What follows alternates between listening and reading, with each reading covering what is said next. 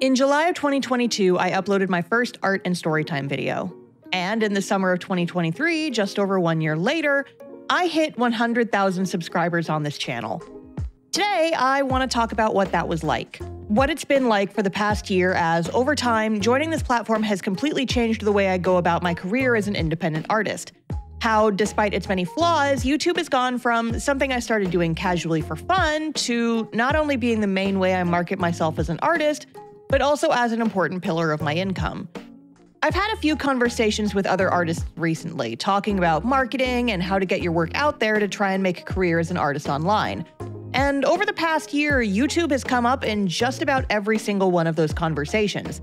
I've told so many of my artist friends and mutuals, starting a YouTube channel has been one of the best things I've ever done for my career. And it's true.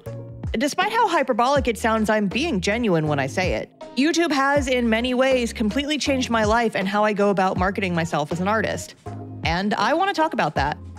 This video is going to be a little different from my usual storytime videos. It's less of a single narrative and more of an introspective exploration of what doing this job is like and how YouTube itself helped along the way. We're getting a little experimental here, so I hope you all will indulge me as I get some of these thoughts out in the open. And if you're also an artist trying to see if starting a channel is a good choice for you, well, I hope this video will help offer you some insight. But before we get into it really quick, let's do Hey Star, what you drawing? The art in the background is the art I did for my webcomic Castoff's November Mail Club set. The theme for this month, chosen by my Patreon supporters, was a cozy autumn theme, and I had a lot of fun doing the art for it. You can get this month's art by joining my Patreon during the month of November, and if you want to learn more about the characters, you can check out my webcomic Castoff for free at castoff-comic.com. Links to both of those are in the description. Okay, now that that's out of the way, let's talk about YouTube. Technically, I've been on YouTube for a while. Back when the website was first getting off the ground in the mid 2000s, I was in middle school, posting anime music videos and sketchy animatics on my very first channel. Most, if not all, of those videos have been removed in the years since, either from copyright takedowns or me privating them out of embarrassment. After that, I stopped making videos for nearly a decade until I eventually took up streaming as a hobby and made this channel so I could post archives of my Twitch streams and the occasional speed paint. So while I usually say I started doing YouTube last year, I've technically been on the platform in one way or another for about half my life at this point. However, up until last year, I never saw YouTube as a career path for me. I didn't want to become a YouTuber. My goal was and always has been making a career with my art supporting myself with my comics, illustrations, and other creative endeavors. I've been an artist on the internet for roughly half my life at this point, and over the years, I've used just about every platform I could manage. I started on DeviantArt in 2007 or so, then branched out to Tumblr, Twitter, Instagram, TikTok, basically all the major social media platforms one could post their art on. When I first started, I mostly just wanted to post the stuff I drew to show other people the modern day version of passing my sketchbook around to my friends like I did when I was still in school. But over time, and especially once I started thinking about making art my full time job, my priority shifted into growing my audience so I could effectively market my work. And here's the thing I love art. I love drawing. I love being able to get up in the mornings and sit on my couch in my pajamas with a cat snuggled up next to me and draw comic pages and call that my work. But here's the thing the art is the fun part. And in this profession, doing the art, actually drawing, is only about 20% of the job. The rest is a ton of behind the scenes stuff I call my admin work. Maintaining my online shop, packing and shipping out orders, doing customer service, answering emails, so many emails, planning and attending conventions, running my Patreon, and arguably the most important part marketing. Getting people to know that I exist and trying to get them interested in the stuff that I'm making. And that part, that part's hard. Out of everything else in my career as a freelancer, marketing is probably the part that I and many others struggle with most. Because it's so different from just being able to draw a nice picture or write a good story. Marketing is an entirely different skill set that has to be developed on top of everything else. I know so many fantastic artists who struggle to get seen online just because they don't have a good sense for marketing themselves or they just aren't interested in that type of thing which is completely valid, and I do not blame them for feeling that way. Heck, I'm the type that finds marketing interesting, but even I wish I didn't have to bother with it sometimes. There's a psychological experiment called a Skinner box, where an animal like a rat or pigeon is put in a box and given a button. And every time it presses the button, it gets food. The result they get is consistent and directly equivalent to the work they put in. One button press equals one piece of food. But in a variation on the experiment, the button would start to give out food randomly. The animal would press the button, and sometimes it would get just a little food, sometimes it would get a lot, and sometimes it wouldn't get any food at all. And once the element of randomness gets introduced, it starts to drive the animal crazy. Pressing the button over and over and over again, expecting and hoping for the food, but only getting it a small percentage of the time. And unfortunately, that's a bit of what social media and internet marketing is like. Sometimes you spend hours on an art piece and it flops completely. Sometimes you put together a dumb TikTok in two minutes and it gets over a million views in a day. And sometimes, no matter how much you try to do everything right, you get the exact same results for weeks on end, and that last scenario is always the one that's been the most frustrating for me. The feeling of having plateaued, the feeling that you've been stuck at the same level, grasping for the same straws for days, weeks, months, even years. That frustration can lead to either giving up or spending even more time pouring yourself into making good content for an unfeeling social media algorithm, only to not get the results you want or expect. A lot of times, heck, I'd argue most times, the work you put into social media marketing isn't equivalent to the results you get out of it. And that's something I think every creator can relate to, including myself. I started my webcomic Castoff in 2015, a few years after graduating from art school with an animation degree. After failing to get a studio job, I found work doing art for a corporate entity for a few years before moving to Japan to do a brief stint as an English teacher. And while I was there, I started thinking about what I wanted to do when I returned to the States. Would I try to get a studio job again? Go back to doing boring, soulless work for a huge company? Or was there a chance I could try to make it on my own? Become an independent freelance artist, do conventions, make merch, take commissions, earn some money through the Patreon I had started for my webcomic, and ultimately pay my bills with the art I made myself. In the end, that idea really appealed to me, so during the final year of my teaching contract, I dedicated most of my time to a combination of research and trying to grow my audience online. To that end, I started getting really into social media marketing. I read articles, I watched videos, I tried to soak up every ounce of knowledge I could in order to take it and use it for my benefit. I started an Instagram account just for posting art and made it a point to upload there as often as possible. I did the same with other platforms like Twitter and Tumblr, eventually even paying for a third party social media scheduler I could use to post art automatically during the most opportune times of the day.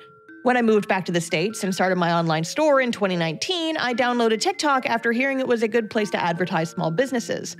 I tried to keep track of trends that were making the rounds and coming up with ways I could use them myself to try and fish for a viral post. I'd spend hours going through my For You page, bookmarking popular audios I might be able to use, finding successful small business accounts and seeing what kinds of things they were posting, taking in the knowledge available to me, studying, researching, testing others' methods for myself, experimenting, trying different things, seeing what worked best, and making more videos along those same lines to try and recreate the successes I had achieved.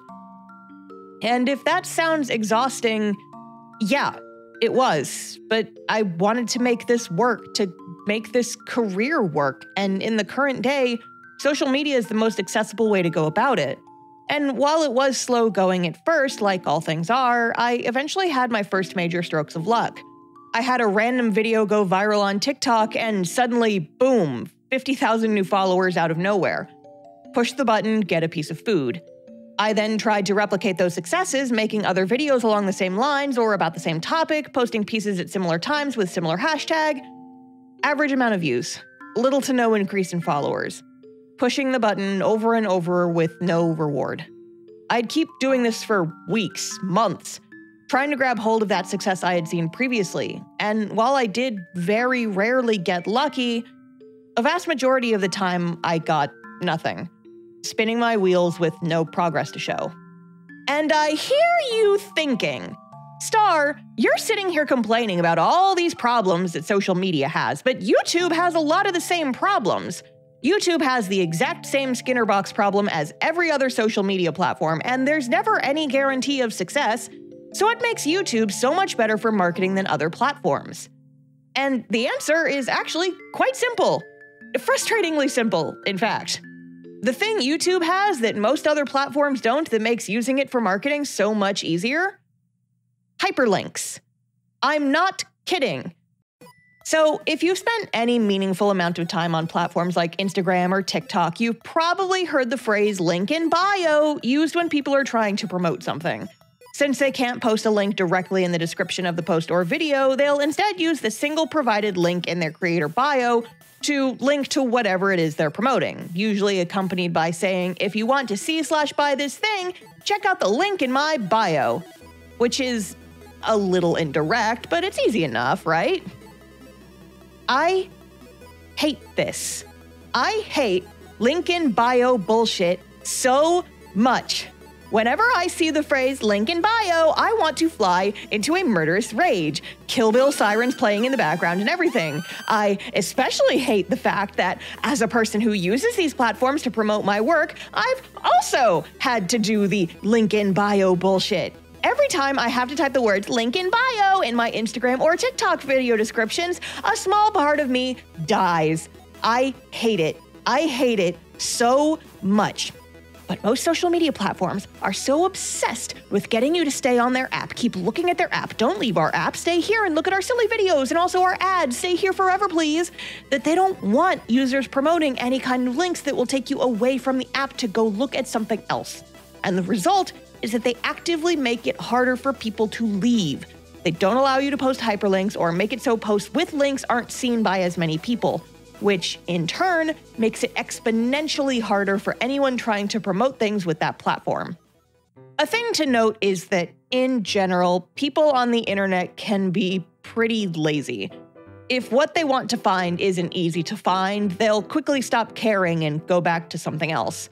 I'm guilty of this myself. There's studies in the psychology of internet marketing that say the more clicks it takes for a viewer to get to the thing they want to see, the less likely it is that they will get there.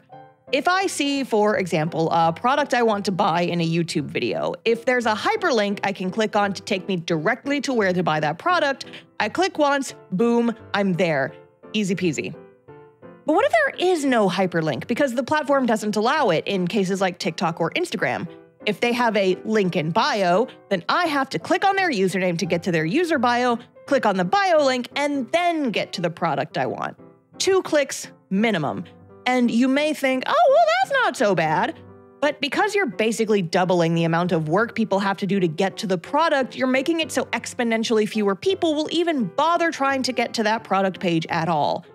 And this gets even worse if you want to promote multiple things and only get a single bio link to use. If you're like me and want to promote multiple things and only have one link to work with, you'll probably end up using some kind of link aggregator site like Linktree or Beacons or a Carrd website or something. But then that's just adding one more click minimum, one more task people have to go through to get to whatever they're interested in, and in turn means that out of everyone who sees what you're promoting and is interested in it, only a small fraction of those people will actually be able to find what you're promoting. It sucks. I am so done with social media that doesn't let you use hyperlinks. Instagram and TikTok are basically dead to me at this point. I still use TikTok sometimes because I have a pretty decent audience over there. And Instagram has the ability to let me tag products from my shop directly in photos, which makes it useful for shop promotions at least. But for the most part, I have completely stopped using both of them. Twitter and some other places will let you use hyperlinks in post, but there's some debate over whether or not a hyperlink will make it so the post doesn't get as many views. In my experience, eh, it's hard to say for certain. But on YouTube, if I make a video and promote a thing in the video, not only can I add a direct hyperlink in the description of the video, I also have the option to have the link pop up in the video itself at the exact time I mention it. And I can also just post all of the links to all of my products under every video I make. It's simple, it's easy, and it makes things extremely accessible, which, as I just explained, is pretty dang important for self promotion purposes. Oh, but while we're here, to air a slight grievance, hey, YouTube, hi, hey, it's me again. Listen, I love you and all, but hey, I'm very grumpy that you removed being able to post hyperlinks on shorts. Extremely grumpy about it, actually. I understand if it's for like keeping people from posting spam links or whatever, but at least let creators post hyperlinks in the comments of their own videos. Please, pretty please. I am on my hands and knees begging for my links back. I want them back, please and thank you. okay, moving on. I had been on the TikTok grind for a few years when I started using YouTube. At the time, my online store provided most of my monthly income, and I was bringing in most of my customers through social media marketing. I was spending hours every week hunting for trends I could use and rework for my own purposes, spending more hours filming TikToks in large batches, editing them all, and setting alarms to remind myself to post them during opportune timeframes. I had managed to build a decent audience there, but overall, I really felt like I was spinning my wheels and going nowhere most of the time. I would occasionally make a video about my shop products that would perform well and I'd get a few new sales, but nothing that lasted longer than a day or two. I'd make videos promoting my webcomic as well, but those didn't do much to attract new readers. I would occasionally look at the analytics for Castoff's website, and while there was a slight increase in my view counts over the years, the graph was still frustratingly flat. I had plateaued, and no matter how much work I put into the TikTok marketing, it still felt like I was barely making any progress. The brief flashes of success kept me using the platform, kept me posting new videos constantly and praying for a big hit, but there was no consistency whatsoever. Doing this kind of job really is a feast or famine lifestyle, and while I had some weeks where social posts would perform well and I'd make more sales than usual, there were some months I'd only make it to half of my ideal sales quota. And then the self doubt and desperation would start to kick in, and I'd force myself to spend more hours on TikTok, more hours making videos that might drive a few sales, that might make me a bit of money. And oftentimes, I didn't get much, if any, results. Press the button over and over and over again and still starve. Another problem with most social media these days is the lifespan of the posts you make. On platforms like Instagram or Twitter or TikTok, usually your post will only be circulated on the first day, or even just the first few hours after you make them. After that, platforms will generally stop pushing those posts out to people and they won't be seen hardly at all. Which means that if you want to be visible on those platforms, you need to be posting very frequently, which becomes less viable if you're an artist who can't be constantly churning out immaculate finished pieces. With all of these factors combined, I eventually started to feel the exhaustion from the grind. I had been going so hard at my social media presence, trying to market my store, my webcomic, any of my work so I could earn a little income and pay my rent, but I was still stuck on that plateau, lodged in place, wheels spinning, but ultimately not making any meaningful progress. Which is around the time I started using YouTube. Like I said, I'd had this channel for a little while before I really started using it. A few years before, I had gotten very lucky with my How to Webcomic Twitch VODs going semi viral and getting over 100,000 views, which pushed me up over the 1,000 subscriber mark and let me start monetizing my channel. At the time, I wasn't really making much, only about $50 a month or less. Not much in the grand scheme of things, but it was some nice passive pocket change, if nothing else. Then, around early 2022, I had been self employed for almost three years and was growing very disillusioned with the social media self promotion grind. Burnt out and struggling after my cost of living doubled when I was forced out of my apartment and into a house, I started looking for alternative ways I could add to my monthly income. During my time as an artist, I had gotten extremely used to watching YouTube videos while drawing. When working on art or comic pages, I almost always had some sort of videos playing in the background to help keep me focus. And at some point, I got very into watching art channels. I enjoyed listening to other artists talk about their craft, but even more so, I loved watching art commentary and art storytime videos.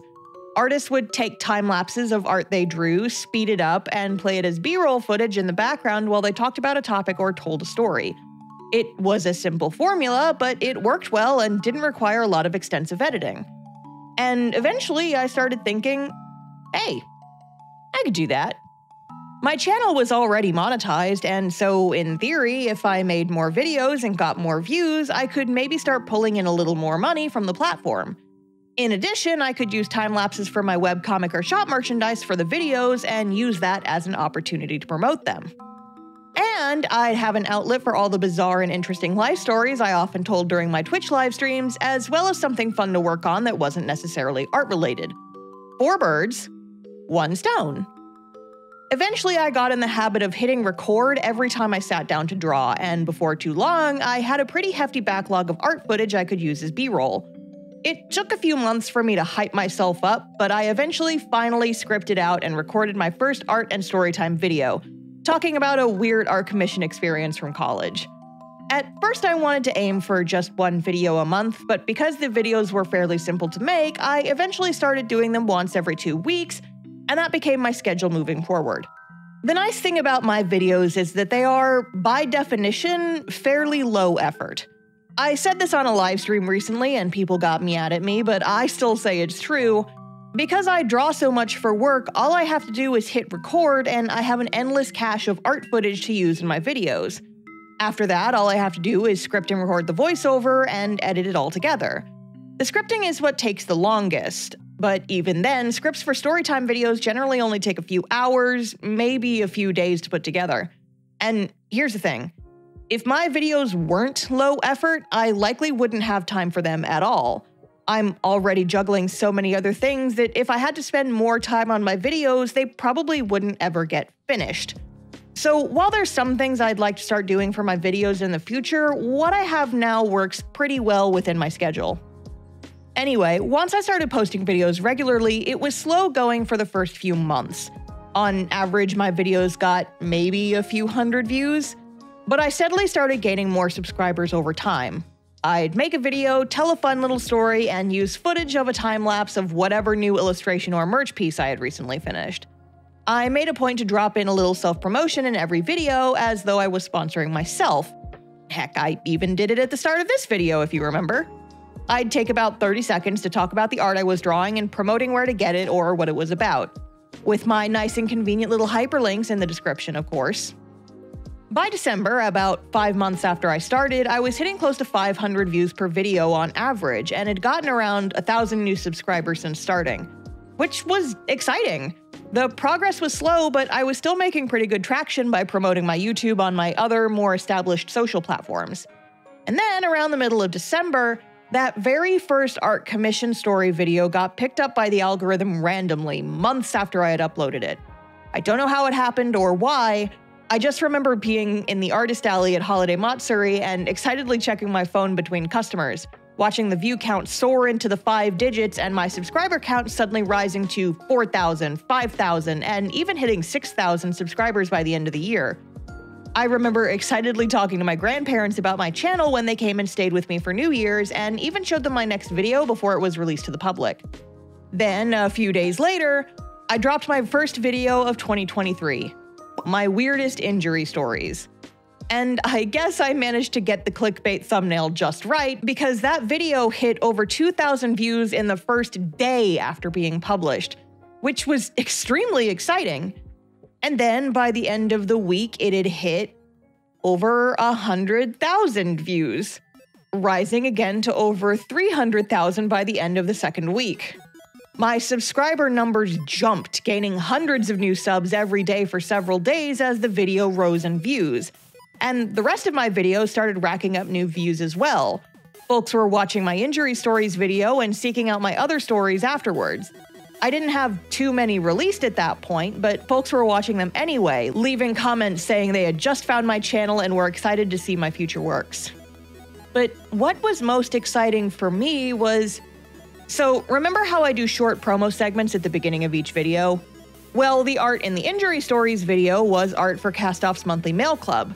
I spent a little time talking about the webcomic and where you could read it with a link to the comic's website in the description. And as the injury story started making the rounds, I started to notice an influx of new comments on the webcomic site as well.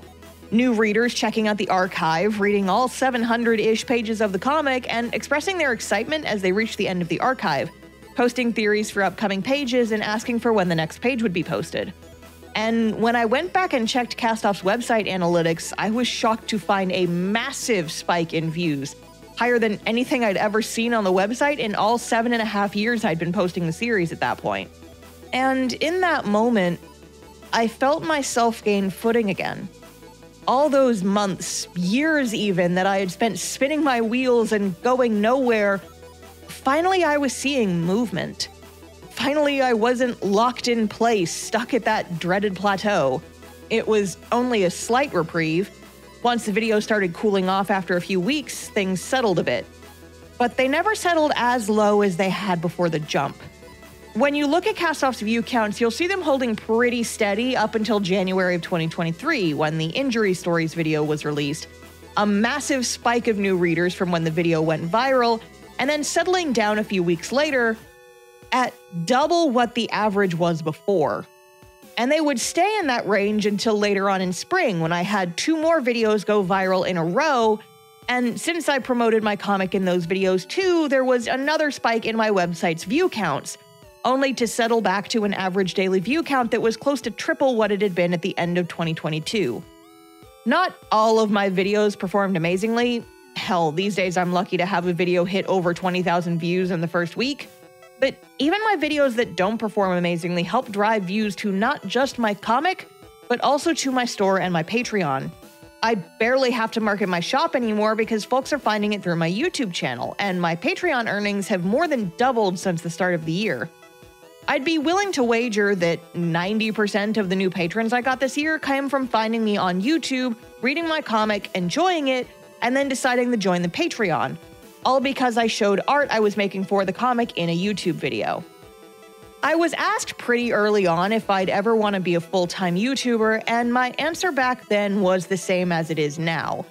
While it would be nice if my videos could bring in a bit of extra money, I've always wanted my main focus to be on my comic work. But looking back now, after what the last year has been like, if I had known how good YouTube would be for my career as an artist, I would have started years ago, to the point where I look back and want to kick myself for spending so much time trying to suck up to TikTok for a scrap of attention when YouTube gave it out in spades. YouTube videos take longer to make than TikToks, sure, and more effort has to go into them because of that. But YouTube videos like the ones I make are what's called evergreen content. It isn't trying to ride a specific fad or trend that will only be popular for a few weeks at most. Rather, the videos get new views all the time. They're continually recommended to new people, and even though the bulk of the views comes from the first week or so after posting, I still get comments on old videos from people who just found them recently, which is something you'd almost never see on other platforms. Longer videos means they appeal to folks like myself, people who watch videos in the background while working on doing other things. And being able to post hyperlinks in the description means it's infinitely easier to promote other things with your videos rather than having to court people into doing the link in bio song and dance. And one of the most important things that I haven't even mentioned yet is that YouTube actually pays me. I was in the TikTok Creator Fund for almost my entire time on the platform, and I remember that every time I had a video go viral, I'd only get, what, $5, maybe 10 for a video with hundreds of thousands of views. Meanwhile, I could make a YouTube video that only hit 50,000 views and make a couple hundred bucks from it. I'm definitely not in a place where YouTube could be a full time job for me, but in my case, it doesn't need to be. That isn't my goal. The money I earn from this channel ends up getting invested back into the channel as well as being put towards other projects.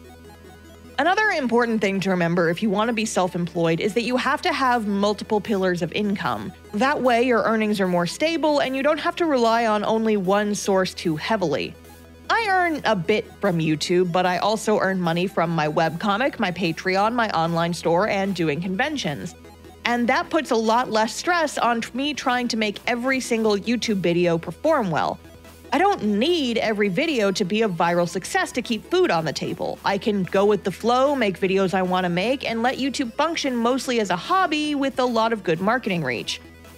YouTube for me is part of my I call it my content ecosystem, which is the worst and most bullshit influencery sounding name for a thing, but it works pretty well and I haven't come up with anything better. Don't look at me like that. The idea is that my YouTube videos and my other projects have a symbiotic relationship with each other. When I make a new illustration for my comic or new merch for my store, I record the art process and use that footage for my YouTube videos. The YouTube videos, in return, make people interested in my comic and merch, which then helps lead to getting new readers for the comic or new sales on the store, which then, in turn, benefits me, you know, staying alive and keeping my kitties fed. So, if you're also an artist or creator and you're trying to decide if YouTube is a good choice for you, I'd say go for it. If you like my videos and want to try to make your own, go for it. Just just do it. Try it out and see if you like it. Steal my format. This is me giving you permission to do so. I don't care. I was not the first person to make these types of videos, and I will certainly not be the last. I've seen a few other folks starting to make their own videos who tag me and credit me as their inspiration, and every time I see it, I just say to myself, heck yeah, make that bank, let's go! My suggestion though, if you're starting a channel, is to do it casually at first. Don't worry too much about getting big and famous. Don't treat it like the one thing you have to do to make it as an artist. Just focus on making videos that you like and want people to see. It'll take a lot of the stress off of you and make it a lot more of an enjoyable process. And if you decide you want to make YouTube videos, well, here's some advice I have based on my own experience. Some of these are pretty general, but others are more specifically for art related channels. Depending on the type of videos you want to make, your mileage with these tips may vary. So here are my YouTube tips. Your video's thumbnail and title should work together, and the information they give shouldn't overlap too much. The thumbnail is basically going to be the first thing people see, followed by the title. Half the time when I'm scrolling through my recommended videos, I don't even look at titles. If a thumbnail grabs me, then I look at what the title says. In my experience, the best thumbnails entice potential viewers to ask questions. Then the title elaborates on the thumbnail, and your video should answer whatever question they're going to be asking. In my case, the question most people ask when looking at my thumbnails is, What the heck happened? I take a moment from the video I think is the most interesting or shocking, use that for the thumbnail, and give a bit more context in the title without giving too much away. Also, I know we all hate clickbaity thumbnails, but unfortunately, they do work. Too much clickbait can be a turnoff, but not having your thumbnails be enticing enough means you're more likely to just completely get overlooked. Here are the thumbnails and titles from some of my most successful videos. Do with these what you will. As for the actual video, for the most effective marketing and self promotion, I structure my story times like so. A short intro that hints at the climax but leaves people craving context to get them hooked. Then I do my short self promo slash faux sponsor segment at the start, and then on with the rest of the video.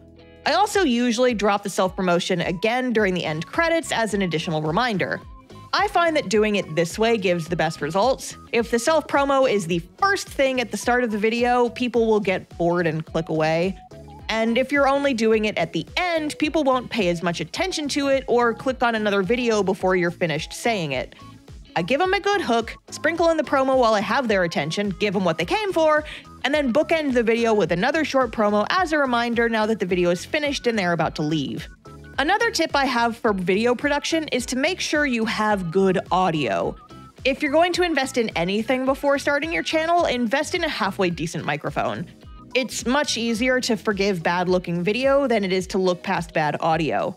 Take some time to research beginner microphones and how to record and edit your audio to sound decent. You don't need to jump straight into a big fancy audio rig right away. A decent USB mic is perfectly fine to get you started, and there are some pretty solid ones out there you can get for $100 or less. I'm far from an audio expert, so I can't give too much specific advice here, but doing a little independent research will really benefit you in the long run. Additionally, I highly recommend that you script your videos. I personally tried doing some videos with just an outline and improvising when I first started, but I ended up having to edit the audio pretty heavily and still didn't like the end results. Scripting your videos in advance will help keep you on topic, help you avoid using too many filler words, and overall make for a nicer experience. I also recommend editing out any weird mouth sounds, filler words, long pauses, etc. Try to keep it snappy and engaging. Also, try not to sound too robotic or monotone while you record. Rather than just reading the words off this page, pretend like you're telling a story to your best friend. Embrace your inner theater kid and put some personality into it. It'll make for a much more engaging final product if you really let yourself have fun with it. Taking a hint from TikTok, YouTube has recently been pushing shorts on the platform. Vertical videos under a minute long that get their own section on your channel page and on the recommended videos. The format is basically just copying TikTok, so if you're already familiar with TikTok, you might as well do shorts too, right? I use shorts for a few purposes. I make mini time lapse videos as well as short story times and mini tutorials. For my short time lapses, I know it's easy and tempting to just upload a time lapse video of a drawing with some nice music playing under it and call it a day. But in my experience, those aren't the most interesting videos to watch, and people will usually just scroll past them. I've had good luck adding a little bit of narration to my tiny time lapse videos, saying what I'm drawing and spending about 30 to 45 seconds talking about the art, the character I'm drawing, any techniques I used, anything interesting I have to say about the art, etc. I'll leave the link to my playlist in the description for folks who want to see some examples of what I'm talking about. Additionally, one other reason shorts are beneficial is that every single social media platform is trying to be TikTok right now. So you might as well use that to your advantage, right? I focus on making vertical videos specifically for YouTube, but I also cross post the same videos on TikTok, Instagram Reels, Pinterest, and any other platform I can. We in the industry call that recycling. And lastly, totally random tip, but if you want to promote a video on your community tab, don't use the share video function. I don't know if this is a universal thing, but every time I've used that feature, my posts do absolutely terribly. Post the video's thumbnail or something with a hyperlink in the first few lines of the text portion instead. I don't know why the engagement completely tanks when you share a video directly, but it very clearly has in every instance that I've used it, so be mindful of that. YouTube as a platform has its fair share of problems, between annoying and unpredictable ad restrictions to its lack of good tools for live streaming and everything in between. It's far from a perfect platform. But I can't deny that starting this channel has been a huge boon for me in my artistic career. When I finally hit 100k, I kept having viewers in my stream chat saying, Aim for 1 million, you're gonna hit a million someday. And while I think that thought is nice, I'm honestly pretty happy with what I've achieved so far. I'm not the fastest growing YouTuber nor the best at what I do, but I like to think I've made some fun videos that people enjoy. And most importantly, it's helped me find a huge new audience of people who enjoy my work, whether it's videos, comics, streams, or anything else. So, thank you all so much for helping me get this far, and I hope you'll stick around for whatever else comes next. And so ends my tangled mess of thoughts. Happy 100,000 subscribers, everybody! Let's go! This video is coming out a little later than usual. I'm experimenting a bit with my schedule to try and take some of the pressure off. I'm going to be toying around with the more freeform schedule for a bit to see how I like it, but my Patreon supporters and channel members will continue to get videos early, so keep your eyes open for the next one. Once again, the art in this video is from my webcomic Castoff's November Mail Club. You can get this month's goodies by joining my Patreon before the month is over, and if you want to get to know the characters, you can read the entire comic for free at castoff-comic.com. Links for all of those are in the description. All right, that's all for me. Thank you for watching, and I hope you have a wonderful rest of your day. Bye!